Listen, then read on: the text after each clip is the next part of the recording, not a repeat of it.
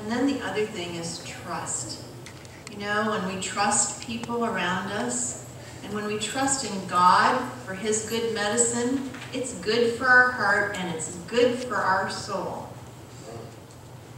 And then stop unwelcome intrusion into your good health like, like certain problems that you can't handle that aren't yours getting over involved in other people's problems when it's when you're not a part of the solution. We need to let God take some of our burdens. And a great thing to do is prayer.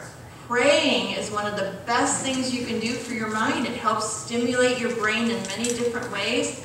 And persevering through making good changes in your life is very good. And it helps you to achieve mental health, physical health, and spiritual health. Let's read this, can we? The thief comes only to steal and kill and destroy. I have come that they may have life and have it more abundantly. This is Jesus. He wants to give us abundant life and he wants to see us healthy. He says that our bodies are his temple and he wants to have us feeling good and feeling safe have the longest life that we can so that we can impact other people for Him. So make sure that you're changing the things that you can about your lifestyle so that you can have the healthiest life possible.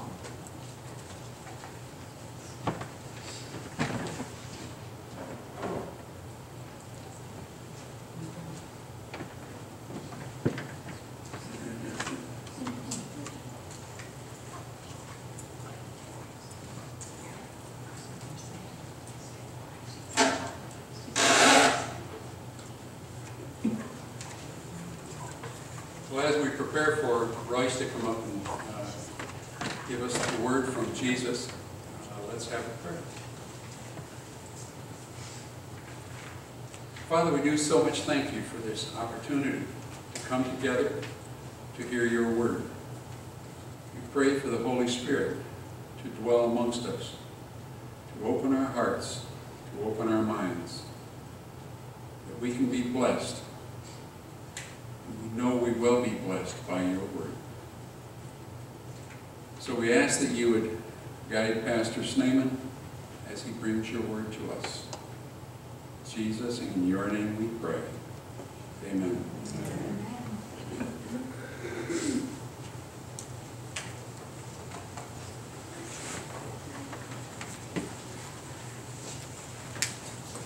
Well, good evening. Good evening. Nice to uh, be with you here in sunny Florida.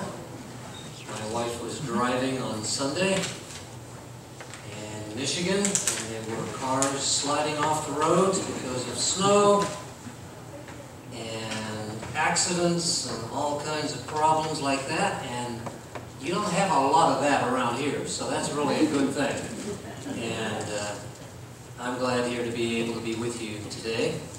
I want to um, introduce you to my family just in case you wondered. And uh, on the left is my son-in-law Kevin, my daughter Kristen in the middle. Next to my wife, our adopted son Carlo, my mother-in-law Shirley, and I don't know who the guy is on the right. He looks a little bit like the guy in the picture on the brochure, but, uh, and I'm not sure who Deborah was talking about when she was introducing those speakers. Did you know those people? Yeah, well anyway, my name is Royce, this is my wife Lauri, and we're really glad to be able to be with you today. And uh, especially to share something I believe is really exciting. You see, this is the week, of course, that the thoughts of the Christian world are on the final events of the life of Christ, especially those which occurred on the last weekend culminating in his death, his burial, and his resurrection. So this is a good time for us to review those events, don't you think? I think it's a good time for us to be able to look at this and be able to understand what the importance of those, uh, that experience was for us. Most Christians, though, do not realize that there is much more to know about these events that surrounded his first coming than simply recognizing that they happened. Most Christians just acknowledge that they happened. But by digging deeper into what the Bible says, we will see that the Bible also teaches us a lot about our own time and what Jesus wants us to know about His second coming. And you'll see how those are connected as we go along today. I've been a student of the Bible for 45 plus years, and the more I study the Bible, the more excited I am about understanding the Bible's special, special message for today. The Bible was written for us today. I hope to convince you of that tonight, and I think you will see it. Now, it may seem unusual to connect the events of the week of Christ's life with prophecy, but as you will see, it's not unusual at all, because Christ's life is the focus of prophecy, and He is the author of prophecy. And prophecy especially pointed to this event that the world remembers on this weekend. Mm-hmm. The most important event in the history of this world is what the world remembers today with this weekend. We will also see that the Bible and all its events, including those of Christ's life, are very connected and intertwined from the beginning of the Bible in Genesis to the end of the Bible in the book of Revelation.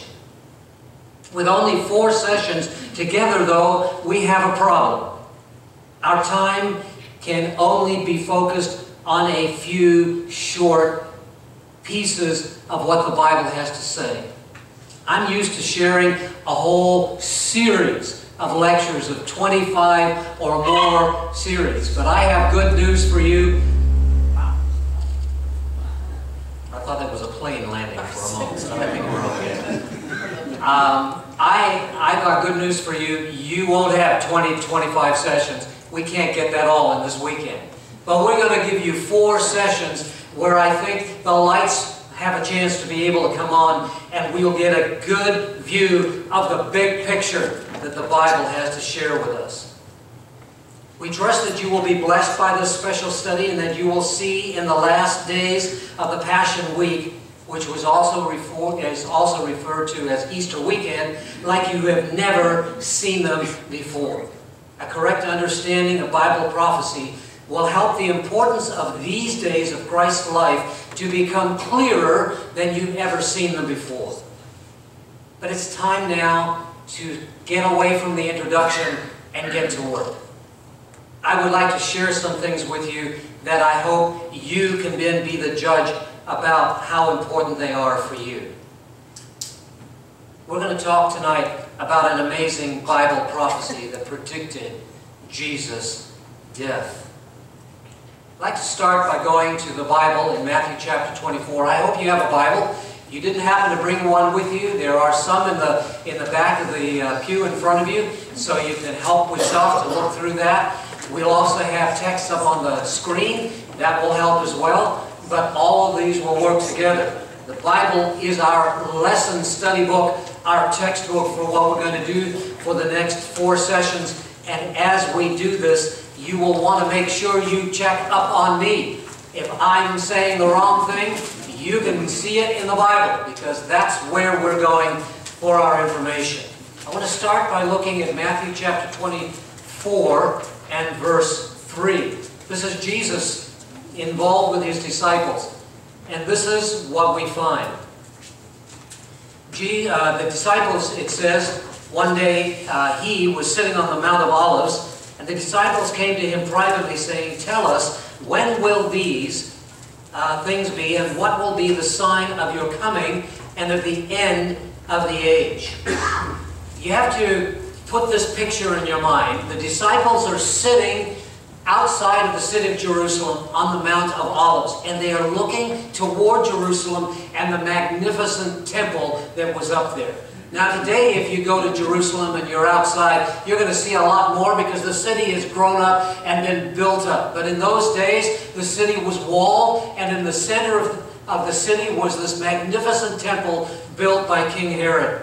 The Jews were very, very proud of that um, temple that was on the, uh, on the in the center of uh, Jerusalem. Jesus responded to the question that the disciples asked because they were looking at this and they had listened to what Jesus had said uh, and, and before this, and, and they were impressed that if something were to ever happen to the temple, because Jesus had talked about the fact that the temple would be destroyed. And when, when he said that, they understood it to be the temple that was up on the, up on the mountain there, and they, they decided it had to be the end of the world. And so they asked him, when will these things be? When will the end of the world be? And in verse 15 of Matthew 24, Jesus said, Therefore, when you see the abomination of desolation spoken of by Daniel the prophet standing in the holy place, and then it says, Whoever reads, let him understand. Here's the interesting thing. Jesus, before he gives this his piece of information, he tells them about what to expect at the end of the world. He talks to them about pestilences. He talks to them about uh, all kinds of diseases. He talks about rumors of wars and wars and people claiming to be uh, Christ himself and more and more. He talks about, sounds like the news of today is what it sounds like when you look at it. And then he comes here in verse 15 and he makes this statement.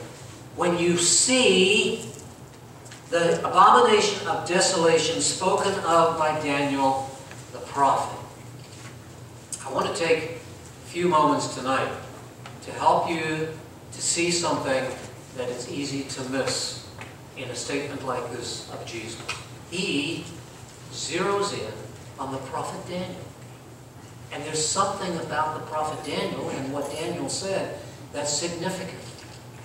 The prophet Daniel has something important to say to you and to me. He had something to warn the disciples about. Also, it mentions here time. And we want to understand and recognize that time is important to God. I want to illustrate that this evening by looking at the verse we just read. It says, Therefore, when you see the abomination of desolation spoken of by Daniel the prophet. So first of all, clearly he identifies Daniel as an important prophet to be paying attention to for the disciples we'll see that it's also important for us, and you'll understand why. He also then says, therefore, when you see the abomination of desolation. With Jesus, time was important. So I want you to recognize that we learn two things from this passage tonight. The first is Daniel has something to say that we want to understand. And secondly, time is important to God. You'll see just how important in just a moment. Now, if, if Daniel was important to Jesus, then it's important to me to understand what Daniel had to say. I want to go back and see what was it that Daniel said that was something that clued in to what Jesus was trying to share at that time. Now, I have to warn you that I'm really going to have to do a little thinking tonight. I hope that's okay. If you just came from work and you're worn out, I'm going to try to energize you a little bit and get your mind thinking. Because what we're going to look at in the next little while may seem a little challenging, but I want you not to worry about the details, but I want you to get the big picture. The details can be reviewed later, but make sure you get the big picture because that's what's truly important. Now let's talk about Daniel for a moment. In case you've forgotten about Daniel, he was a, a Jew who was taken captive by the Babylonian king, king Nebuchadnezzar about 600 years before Christ. The king had attacked Jerusalem and brought back many of the finest young men to Babylon to be his servants and in some cases to be his, his advisors. He chose the smartest, the best looking. He chose those that were healthiest, strong in mind and body to be those who would be able to help him in many of the things that he needed to accomplish in his kingdom. The book of Daniel, written by this young man who was taken captive, has several key prophecies in them that relate to the time and events that are important when we consider the future of God's people. We want to look at two of those prophecies tonight. This is where you need to fasten your seatbelts because these two prophecies are really important in helping us grasp what Jesus wants us to understand. Again, don't try, get, try to get all the details right. I'll try to help you more with that in the future. Let's go to Daniel right now, and I'll show you. This is going to be a big picture. We're going to dive right in. But go to the book of Daniel. Now, if you're trying to find the book of Daniel, it's about halfway in the middle of the Bible. You might turn, like I just did, to the book of Ezekiel, and then the next book is the book of Daniel. In Daniel, there are 12 chapters. We're going to look at the eighth chapter today. And I want you to see a verse that's here. Now, normally, I would take a long time, a whole hour, maybe two hours, to explain all of this prophecy and all that's in here. But I'm going to give you a couple key pieces that will help you to be able to understand it more easily than you ever thought you could. But we're going to go right to verse 14. I want you to see something in verse 14 that Daniel says. It says, And he said to me, For 2,300 days, then the sanctuary shall be cleansed. One night, Daniel had a vision. It was given to him by God, and in that vision, he saw some strange things. He saw some animals popping up in this vision. He saw an angel speaking to him. In this vision here in Daniel 8, the meaning is clearer and easier to understand than you might realize. I'd like you to look here, first of all, at verse 3. If you look at verse 3, it says, I lifted up my eyes and saw, and there standing beside the river was a ram, which had two horns, and the two horns were high, but one was higher than the other, and the higher one came up last. You with me? You say he must have had a real nightmare. Because the next thing he sees in verse 4, the ram pushing westward, northward, and uh, southward, so that no animal could withstand him, nor was there any that could deliver from his hand. But he did according to his will and became great. And then we see in verse 5, and as I was considering, suddenly a male goat came from the west across the surface of the whole earth without touching the ground, and the goat had a notable horn between his eyes. Now you're saying, what in the world are we talking about? Here we have this vision, and he sees a ram and he sees a goat. Now you and I could sit, I could come down here, for example, and we could start having a discussion. And I could ask you the question, so what do you think the ram was? Was the ram, was it some football team? Um, what's this goat? Is this, you know, what does it represent? Does it represent anything? I don't understand what this is. Now you and I could have this discussion, you could give me a guess, and we could have, everybody could have a different guess because that's probably what would happen. But I've got good news for you. The Bible gives us the answer. I don't have to guess. And that's a good principle for understanding these kinds of things in the Bible. The first thing to do is see if the Bible gives us the answer. And I don't have to get complicated because I look right here in this passage and I find that there is a solution because you see, Daniel himself was also a little bit confused. He was trying to figure out what was going on. What I want you to notice, first of all, and I'll come back to those animals in a moment, is that in this passage, it talks about an event. Do you see that? The event is the sanctuary shall be cleansed. So you see it's talking about a sanctuary. We're going to understand what that means also in just a moment. The sanctuary had to do with the event. Actually, I need to go back here for a moment. I want to review this uh, animals with you first. I thought it was coming later, but no, it's not. Look at verse verse 16. I want you to realize that Daniel didn't understand the vision either. And so God sent him an angel to explain it to him. If you look in verse 16, it says, I heard a man's voice between the banks of the Ulai, which was a river, who called and said, Gabriel, make this man understand the vision.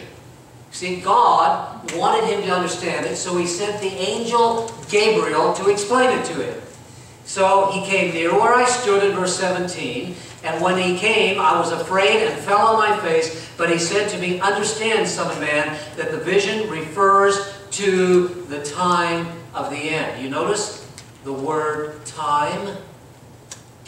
Then he says, um, the ram in verse 20, which you saw having two horns, they are the kings of Media and Persia.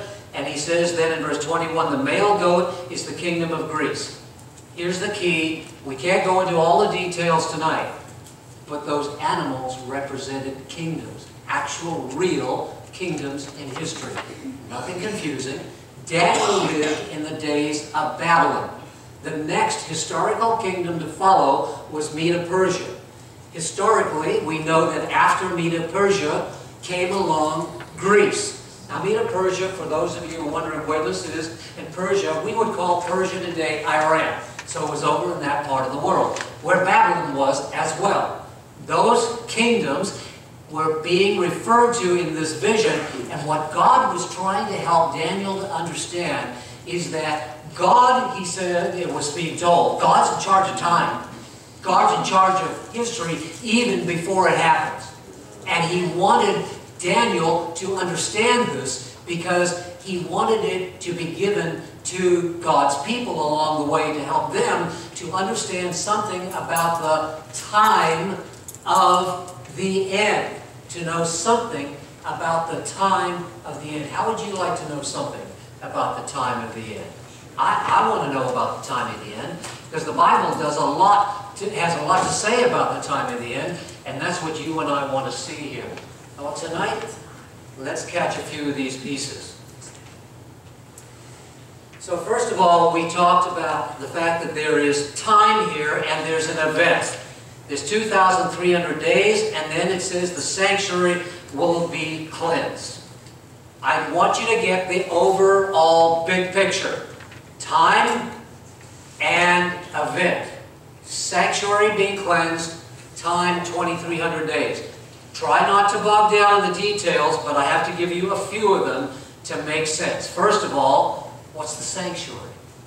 You're saying, what's the sanctuary? Well, the sanctuary was very important to the Jews. Remember I said the temple in Jerusalem was very important to the Jews? Well, the temple was the sanctuary. But originally, when Moses brought the children of Israel out of Egypt, God said, build me a sanctuary. That's what he says here. Make me a sanctuary that I might dwell among them. Very simply, this was a teaching tool that God wanted to use to teach his people about the plan of, salvation. Now let me illustrate that for you right now. The sanctuary was a tent-like structure very similar to what you see here, the best concept, conception, conception that a, an artist can draw. The sanctuary was in the center of the camp of the children of Israel. It had a curtain all the way around, keeping people from just wandering through. There was a good reason for that. We won't go into all those details. And inside the sanctuary, outer court, uh, which is what this outer court area was around here, were two articles of furniture. One was a uh, an altar, a burnt sacrifice. The other was a laver of water. Then there was the sanctuary building itself, and it had two apartments. One was the holy place, the other was the most holy place. There were three articles of furniture here, candlesticks, the altar of incense, and the table of showbread, and here was the altar in the most holy place. I can't go into all the details now, but I'm going to give you a quick outline of what this taught the children of Israel. When a man or a woman sinned, in order for them to help them understand what the plan of salvation was, Jesus taught them through this practice of killing a lamb. It started in the Garden of Eden after sin. Remember Abel and his brother got in a fight because Abel was going to, did offer a lamb and, and uh, his brother Cain thought he didn't have to offer a lamb. So it started way back there. He would bring a lamb, if he, a sinner would bring a lamb to the sanctuary. The sanctuary would be, the uh, in the sanctuary, the lamb would be slain. I know that's gross and we don't like those kinds of things today. But you know what? Sin is gross and the death of Jesus is gross. And that's what he was trying to illustrate is how bad sin was. It causes death. That's what they were trying to, Jesus was trying to illustrate. So they would have to, the sinner would have to kill a lamb to, in order to re, receive forgiveness from his sin. Now let me tell you what. If you had to go and kill a lamb every time you sin, I had to kill a lamb every time I sin. You and I would be a little more hesitant to go out and sin. And just simply be bold and it doesn't really matter and it doesn't care. We don't care. By doing this, the sinner, uh, sinner's guilt was symbolically transferred to that perfect lamb. It had to be a perfect lamb. In other words, it couldn't have a bad leg or it, it couldn't have a blind eye or anything like that because it represented Jesus, the perfect sacrifice for sinners like you and like me. This took place every day. Sinners would come and go. They didn't come all the time, but when something significant happened in their lives, they would bring the lamb and they would offer there. The lamb would be burnt on the altar of sacrifice. The blood would be taken into the most uh, into the holy place and would be sprinkled in here.